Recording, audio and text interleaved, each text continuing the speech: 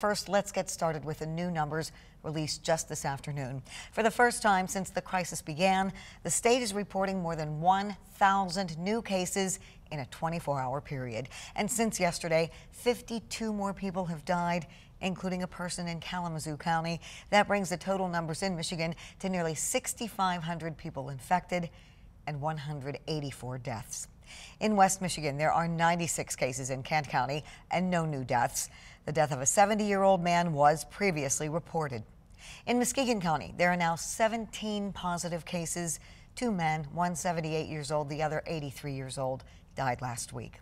And in Ottawa County, there are 28 reported cases.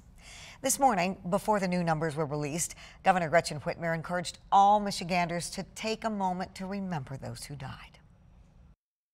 I think it's important to pause for a minute and remember that each of these 132 Michiganders who've lost their lives had stories and families and friends and loved ones, people that we need to think about the real loss as we are combating a pandemic that is hurting our state and our people.